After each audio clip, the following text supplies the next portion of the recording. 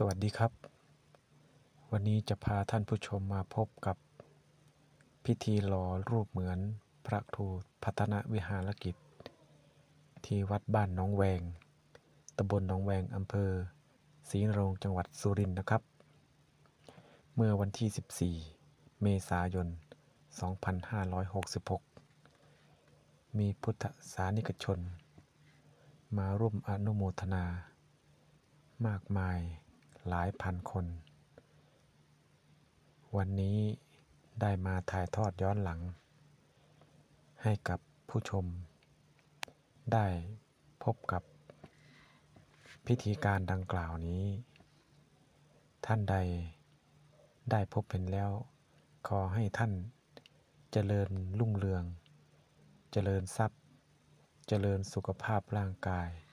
ขอให้ท่านจงมีแต่ความสุขความเจริญ สวัสดีครับ